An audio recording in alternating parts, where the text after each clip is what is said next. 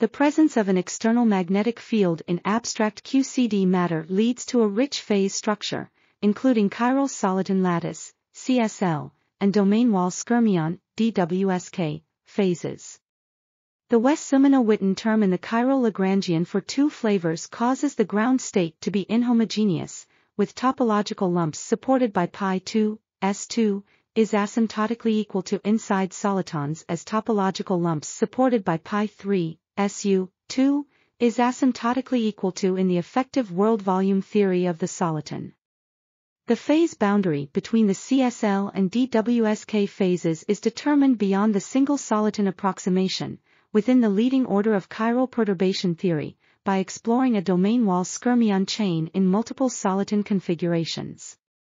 The effective theory of the CSL obtained through the moduli approximation yields the P1 model or O3 model, gauged by a background electromagnetic gauge field, with two kinds of topological terms coming from the WZW term.